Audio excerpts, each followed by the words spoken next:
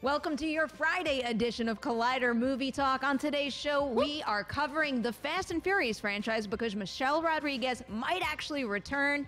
On top of that, we've got a brand new trailer for a new Netflix romantic comedy you're going to want to keep an eye out for called Always Be My Maybe. And I am Perri Nemiroff. I get to host this wonderful show. And today, this wonderful Friday, do you know who I get to talk to? I get to talk to Josh Macuga and Natasha Martinez. wow. Kuga. I got so excited that I stuttered. It happens. Natasha it's and I- Friday. Things get crazy. Natasha and I were talking in there. She's like, when was the last time I was on the show? I was like, I don't know the last time I was on the show besides last Friday. It was legit like two years ago, and honestly, seeing that intro play on this like screen gave me anxiety to be like, "Welcome to Movie Talk, where we talk about all the greatest news." Oh, Yeah. it's such a missed opportunity. we had Sinead No, it's on okay. I last probably week. would have forgotten it. Natasha and this way, I was just like, hey, movie talk. Well, movie talk for movie fans. That's the yeah, only yeah, part I yeah. remember. Movie Talk for movie fans. I'm surprised I don't remember that whole thing word for word. I won't put you on the spot though Yeah, right now. it's okay. All right, Maybe we got to it'll go come into out. our first topic today too, which is a real. I think it's a really cool story. Bad Boys 3 trailer. You know, I'm going to make sure you're in the room when the time comes to really cover Bad Boys 3. Uh, well, I hope so. promise. I promise. All right. In this story, though, we are talking about Michelle Rodriguez and the Fast and Furious franchise. In June of 2017, we were reporting that Michelle Rodriguez was considering leaving the franchise because she said the characters, the female characters in the franchise, didn't get a large enough role. Now it's looking like she actually leveraged her participation into getting a female writer on board for the franchise. Bloomberg is reporting that Rodriguez secured a female writer to join the production, although there's no word yet on who that writer might be. Here is what Rodriguez specifically said about this. You should evolve with the times, not just pander to certain demographics that are stuck in the past. So, what do you guys think about this? Were you pleasantly surprised to see that after what she said in 2017 on Instagram, no less, that she actually wound up making this happen now? I think it's amazing. I mean, I've never gotten into the Fast and Furious franchise. Natasha. Oh, it's so I good. know. It's perfect movie. it's perfect film. It's perfect cinema. perfect. Mm-hmm. Mwah. Uh-huh. But I think that Fast Nine may be the perfect entry point because I think that people really need to commend Michelle Rodriguez for what she did. She put, you know, this amazing opportunity on the line to make it fair for all of the females involved in the franchise. And I think when you've had nine films, and you want to go beyond that and you want to do spin-offs then this is the right move to make This you is know a lot of movies to Yeah. not have some female characters at the forefront of this franchise. You had, okay, so in the last one, you had Charlize Theron, okay? And she was a villain with dreadlocks. And She it's- was. it's like fine, okay.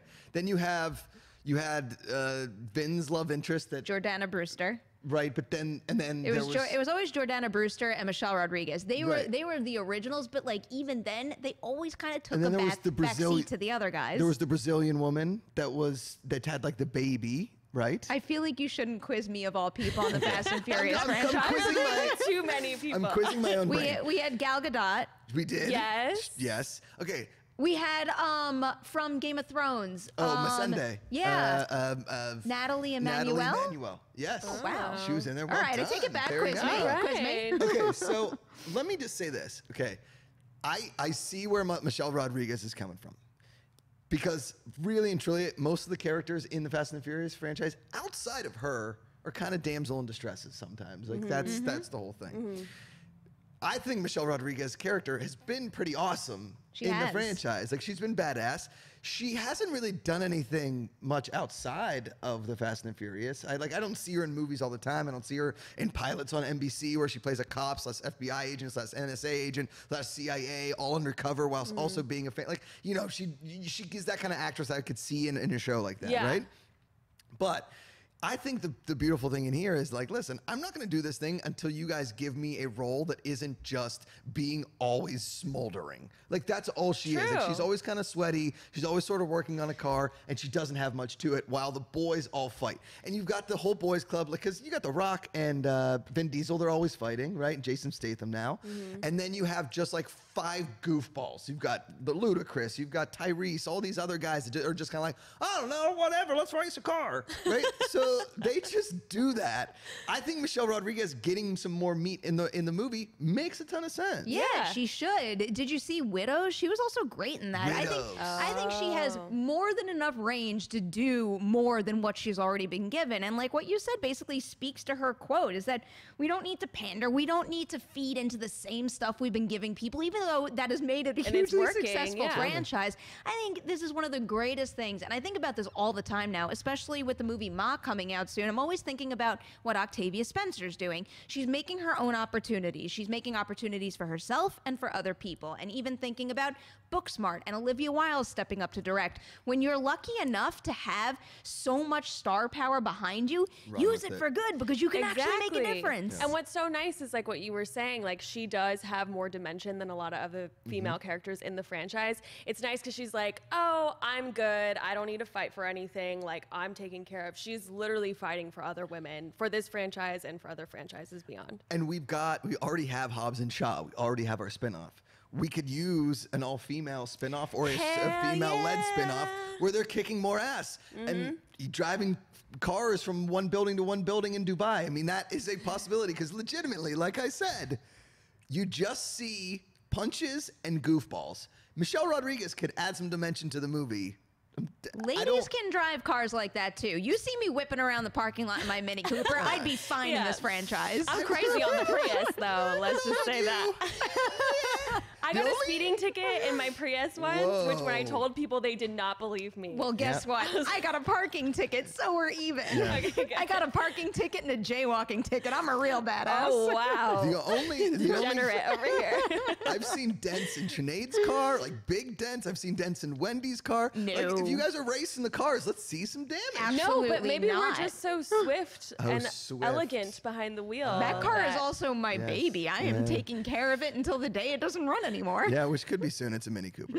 Aw, No, I've had that car for 10 years and it is in perfect condition. yeah. Good job, Perri. Mm. I don't like that you're doubting me right now. I will be driving that car for at You least still have a another New York decade. license plate. You hear that, CHP? Stop! Still got Don't a call New her York license Don't plate. call her There's going to be a Burbank cop watching the show and I'm screwed. Just trying to help the state of California I'm and a- your future as a driver in when the we state. get back to As a our, former our Miss little California, desk, I disagree with what you're doing to Perri. Okay, I have when some we get leverage back here. to our desk, I'm going to turn Pennywise and Black Phillip around so they are staring into your soul the rest of the day. Okay. That's how I get back at this guy right here. you can probably get that same vanity plate in California.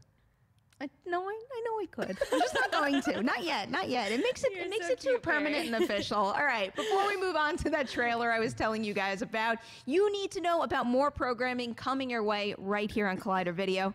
Check it out.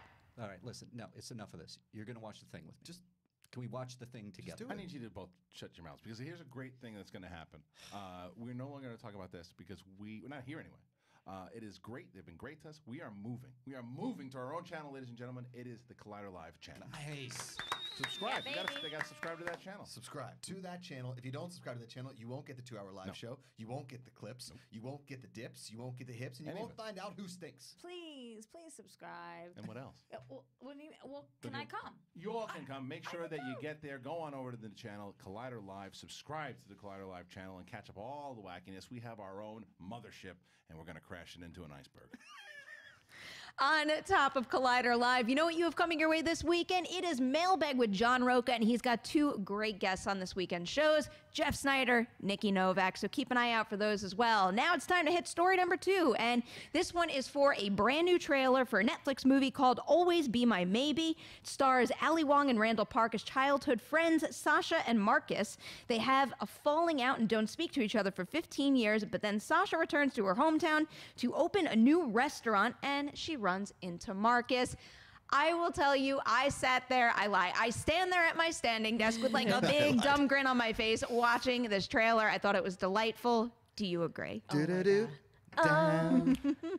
Du-du-du-du-du-du-du. It's a good song. It's It's, a so good, good. song. And I love a good pun. Throw it in the title with the Mariah Carey song. Sign me up on the dotted line. I'm in. I like I loved it. I thought it was funny. Ali Wong's stand-up, um, her two stand-up specials on Netflix, The Mm-hmm. Cobra Mom, and then ah, the other one has got a really good pun to it as well. She is hysterical and she's, Yeah. she's a very good actress as well. The stuff that she's been in, she was on uh, Blackish, I think, for a long time. Or was it? ah, I forget one of those shows, but she's a very fantastic actress. And Randall Park, fresh off the boat, I know it's- it's been under a little bit of controversy with the Constance Wu thing because she was like, ah, shucks. But Randall Park is great in that, and Yeah, he is. these two are they are a perfect rom com couple, and I love.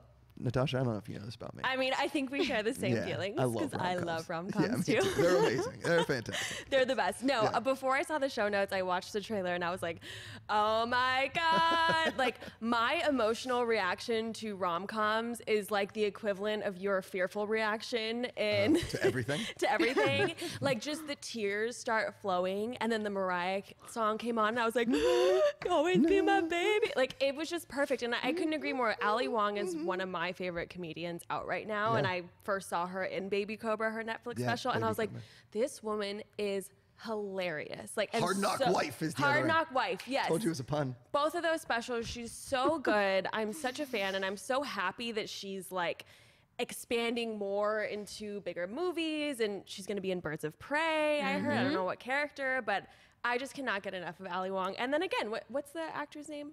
From Uh, Fresh Off the Boat. Park. R- yeah. So Randall, like again, I saw him come out, and I was like, oh, oh. It was like all the feels. He so. does have like that that lovable face. Do you know what I mean? He's got like the, it, It's sweet. Obviously, listen, so sweet. I, I this morning on Collider Live, uh, Gin Blossoms "Hey Jealousy" was playing, right? And I, I love that song, right? It's a great I love 90s the Gin song. Oh, Blossoms. Gin Blossoms are great. And then I was like, is this the one at the end of How to Lose a Guy in 10 Days when Matthew McConaughey chases down Kate Hudson on the Verrazano that Bridge? you know right? that. And Cody's like, uh, I don't know about that. And then he Googles it and he's like, it's actually Follow You Down. I was like, oh, that makes a lot I more love that sense." song too. And then I started going off into my love of rom coms because you just we don't see enough of anymore. Yeah. All of a Exactly. sudden, McConaughey went and became the serious actor thanks to True Detective. We got the whole Mm-hmm. McConaissance, and I'm like, whoa, whoa, whoa. He didn't need a McConaissance. He was pumping out beautiful rom coms all the Beautiful. time. Well, it does feel like the rom com isn't what it used to be, especially on the big screen. We don't really see many of them pop at the box office so often. And then when I think about what Netflix has done, especially in the last year, when you think about movies like To All the Boys I Loved Before That's a great one. and Set It Up, mm-hmm. those were like massive hits where everybody on the internet was talking about them constantly. Oh, yeah. Is this going to be the next one of those? I truly think so. I think, given everything that's going on behind the scenes with the director and, of course, who's starring, it's like a, a foolproof plan, you know? Like, come on, if you got me crying within the next, the first 10 Yeah. seconds of the film, chances are I'm going to love it. But I just, I truly believe in all of the stars behind this. I think it's going to be so good. Is there, i- like, w- so set it up? Was that the I one get with so the. nervous when you tee up a question so Sorry. slowly like that. Is there? Is that? Da, da, da. So was set it up the one with Adam Devine and Set uh, it- Zoey set it up Do- was- Deutch. Yeah, Deutch? and uh, Glenn, Glenn Yeah. Powell. Oh Yes. okay yeah yeah and okay. uh, Lucy Liu. Lucy Liu. Got it, got it. Okay, who I was did like awesome. that. It kind of had a, it had kind of had a proposal feel to it. The Yeah. Ryan Yeah, Reynolds, a little bit, Bullock. yeah. I Again, did like that another rom-com. great rom com. It is Craig so T. good. Nelson. I Oh, mean, Ryan Be- Reynolds. Betty uh, Betty White was in the She proposal. was. So good. The one, the one thing that I love about this whole thing is that okay, so a movie like I Feel Pretty last year with Amy Mm-hmm. Schumer, totally under the radar because everybody was like, well, it's no train wreck. I personally liked it way more than Trainwreck. But these movies, and listen, Oh, it was people are going to hate me. in Set It Taye Up. Diggs. Taye Diggs, Yeah. classic Taye Diggs. Saw him at the Grove once. Um, I still have Fast and Furious on my brain. classic okay. mix-up.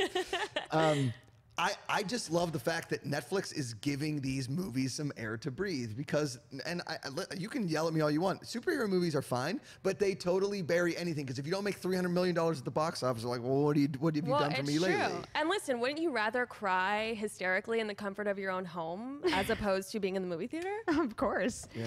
Have you guys been following all of you know the like the TV pickups and stuff and all Yeah. the news with Disney Plus and Netflix and everything? So what this makes me think is because the theater doesn't seem to be a prime place for romantic comedies anymore. Why doesn't Netflix just kind of corner that area of the industry? Because they're having a whole bunch of hits right now, and that seems like what they have to do in order to stay afloat with all this competition is find something they're good at and I guess kind of like own it. jack Yeah. up my subscription fee. If they're going to corner the market in rom coms, I'll stay a Same. Netflix fan forever. But all of a sudden, if okay, N- Disney Plus and they have all these these Marvel characters and all this stuff, they've got all this. If now we get into the next great war is the rom com war between Amazon, Netflix, and Disney Disney Plus, and maybe even a Hulu. We're all we're nobody The loses in that. rom-com. No one loses. The great rom-com wars of 2018, 2019, 20 what's what? The great rom-com wars. We're reading about it in our history Yes, books. correct. I actually correct. wouldn't mind if that would be a like real that. thing. It all started with "Will you be my maybe?" What is it? Definitely. Will you be my Will maybe? you be my- no, always be, to be my my maybe. fair, I keep looking at the title because I can't say it very quickly. I'd always be my maybe. Always Be My and Maybe. I had that problem with To All the Boys I Loved Before. It took me a It's a very long long time to be able to say that quickly. But that, I mean, that was like pop culture explosion. And It when is the sequel coming out? delightful. I don't know when it's coming out, but they're working on it. It has to be coming here soon. Excited. Is it's so someone good. great? Did you guys see someone great with Gina Rodriguez? Oh, I it wanted just to see came that. out. And Brittany Snow. I- yes, Yeah, I watched that. it was so good. Very entertaining. Okay. So so good, Yeah. and I believe that's a Netflix like Totally. original. Maybe I so- should download it for my trip.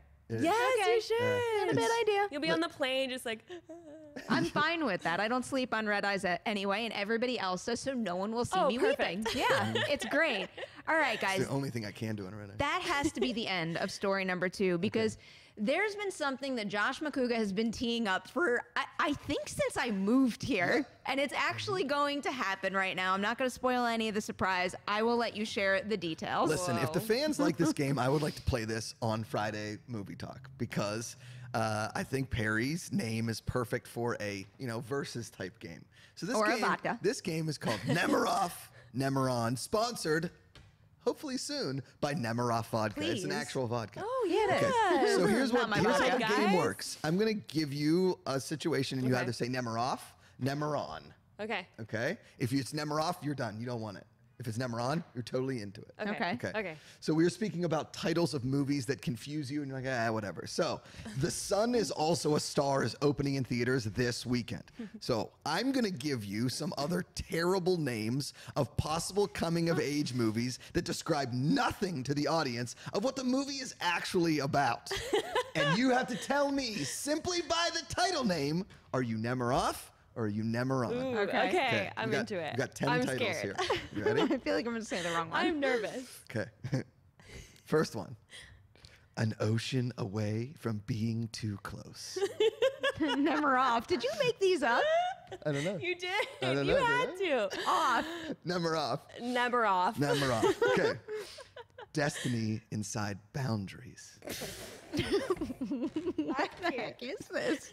Never off. Never off? I feel like I'm going to be off all May I these. hear it again, please? Destiny inside boundaries. This fall, starring Gina Rodriguez and Miles Teller.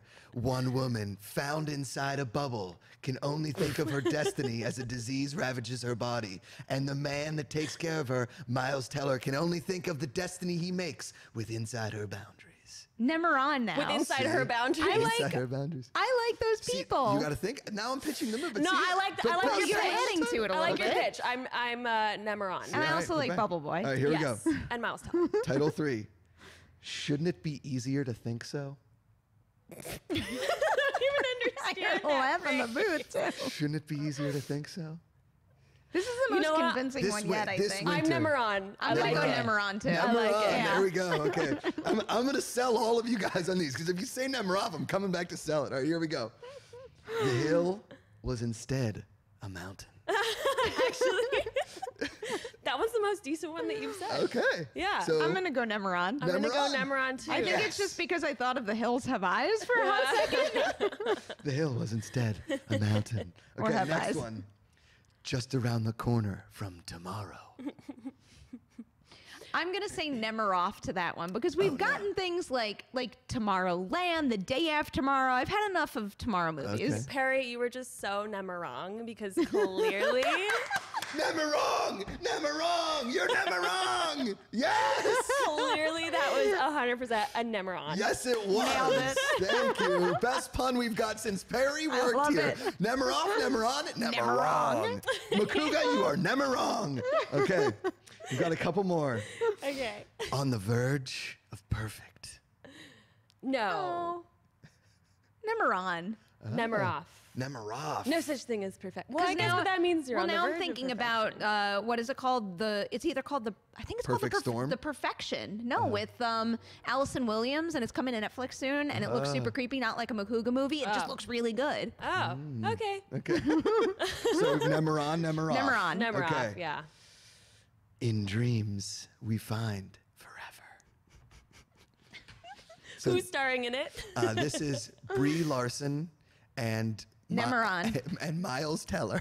you really like Miles, Miles Teller, Teller. everything. I just can't, I'm just gonna use Miles Teller in every rom com. That's fine. uh, Brie Larson and Glenn Powell star in a in a romance that spans generations as their dreams cross over in the subsect of the subconscious where only forever can live. Did you Wow. memorize that? In dreams we find forever. Wow. No, I just made it up. Nemeron. Nemeron. Nemeron. I'm in. Nemeron. All right, here we go. Three more. okay. The spectacular can be the fantastic. Nemeron. oh, damn it. Okay, two more. Seeing the sky in the sand. This movie, Nemeron, because that's hilarious. what does that even mean? this movie stars Julia Roberts Ooh, and Daniel Day Lewis as aliens dropped here generations ago who draw in the sand to bring their former planet back to life. And when their former planet, nah, You lost me at aliens. And finally, your, your final Nemiroff Nemeron, a mirror by any other window. you clearly loved that one. I don't know why that one laugh made me laugh so hard. A mirror by any other window. Uh, Nemeroff. Nemiroff. I'm sorry. I'm gonna go Nemeron because I'm taking it literally. Like there's a window And then with a there's a mirror near mirror. it. Yes, yes. There you go. Nemiroff, Nemeron. I like, I like that game. Your, your Friday. I want like a movie talk thesis or something. Like, what was the conclusion? What did what did we learn from that? You you learned that you could legitimately name a movie anything, and you could buy into it, or you could be totally out. Okay. See? And- Yeah. I- And, then I sold you a couple movies that You don't did. exist, and we pitched them, and they might get made. Who So knows? not a single one of those titles is real. Nope. Not okay. One. Not, not that I know of. I didn't really Google it. Great Well, now, now if one of those movies is ever made, we know where the idea Yes. came from. Right here All on right, guys. Friday movie talk. I hope you guys enjoyed that segment. Tell us about it in the comments below. Do you want more Nemiroff, Nemeron? If you do, we will make it happen. Yes. Josh, Natasha, thank you so much for Thank being you, here Perri. for this Thank Friday Fun Day. Cody, thank you for supporting us Way in the go, Cody. booth. You know what you guys should do while you wait for more movie talk on Monday? You should like and share this episode and tell everybody you know about Collider Movie Talk on the Podcast Network, too. Hope you guys have a great weekend. We will see you live, 3 p.m. PT, for a brand new episode.